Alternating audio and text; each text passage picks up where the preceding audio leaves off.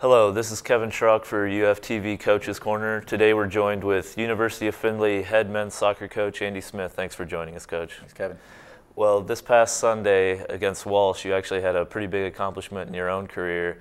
Got not your 200th victory. How special is that for you to get that? Yeah, it felt felt good. I didn't actually realise it at the time until uh, the, the, the players uh, told me. I, I, was hoping that victory would have come a lot sooner, maybe five years sooner. But uh, always nice to win. Yeah. Well, yeah, you guys are having a whole lot of success this year. Maybe struggled a little bit the past few years, but what's the difference between this year's team and years of the past? Well, the core of a team is is players that haven't experienced success, but I think we're hungry for success.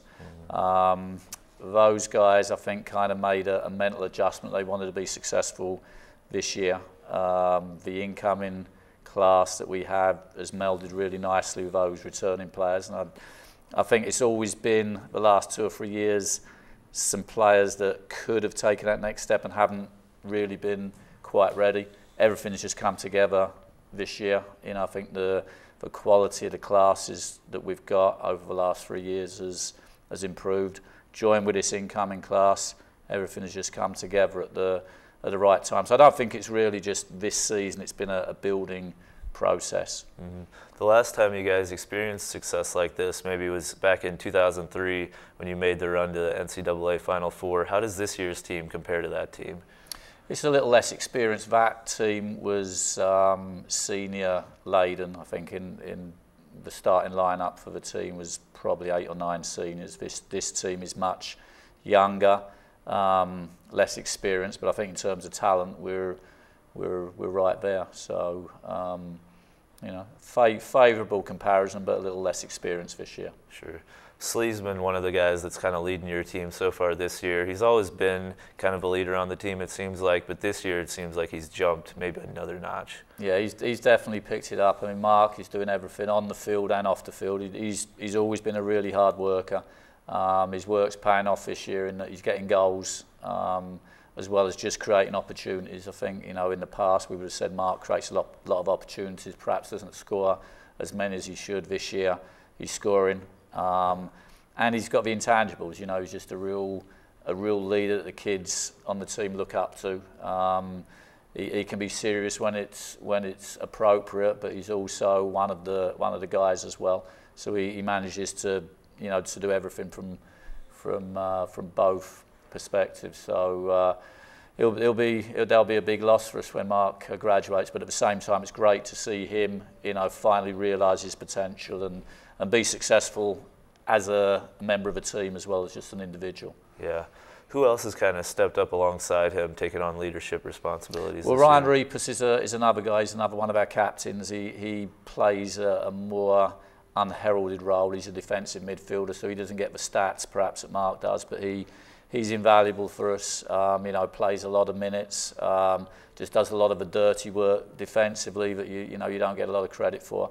Um, and then Jordan Gazelski has done really well for us. He, he got a couple of goals yesterday. Uh, just a player that you know when he's on, you really can't you can't play with him. And then our, our back back four and our goalkeeping has, has been good as well. That's been a, a definite upgrade since last year, and it's still a relatively young group of guys, mostly sophomores and, and freshmen. So, um, you know, there's, there's a number of individuals you could you could point to, but I think you know, just as a team, everything has kind of come together nicely, and is, this is just hopefully a start of that process. Yeah, McClanahan and the goal seems to just keep getting better and better. I mean, what do you see from him improving? Yeah, Joe's done well. He, he's splitting time with Ben Richter this year. Mm-hmm. Um, between the two of them, they've both done very well defensively. I think we've been a lot stronger. We've had um, two games against Northwood and Saginaw when everything kind of went south for us. We, you know, we made a lot of mistakes and letting a lot of goals. But you take those two games out of the picture, and all of our games have been um, very close defensively um, with with limited teams. Joe and Ben in goal. Um, you know, I've limited the number of, of chances that other teams have had. And it's a kind of a different season from them. In, in the past, Joe has had to make a lot of saves this year. They're just because our defence is a lot better. There aren't as many saves to make. So it's you know it's, it's been different for him and, and different for Ben as well in goal. Does that take some of the pressure off the offense too, knowing they have a defense this year that can stop stop them from scoring as well? Yeah, definitely. Because I think in the past, if uh, if we weren't scoring or we didn't score relatively early in the the game, then I think everyone got a little bit nervous that if we let in one goal, that was that was going to be it, and that was often the case. I think everyone is a lot more confident in our in our defence in general, not, not just even the back four and the goalkeeping, but I think defence from front to back has been a lot improved this year. Yeah. So last question, I guess.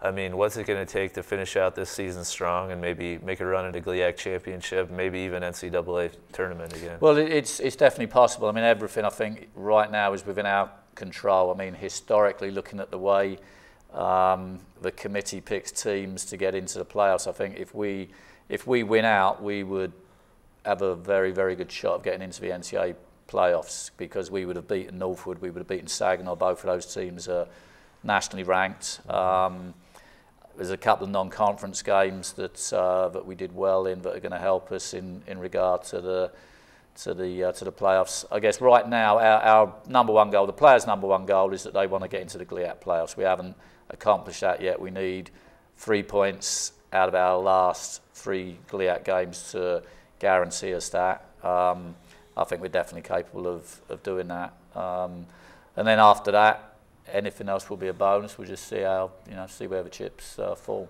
Yep. All right. Well, best of luck, Coach. Once again, this is Kevin Schrock for UFTV.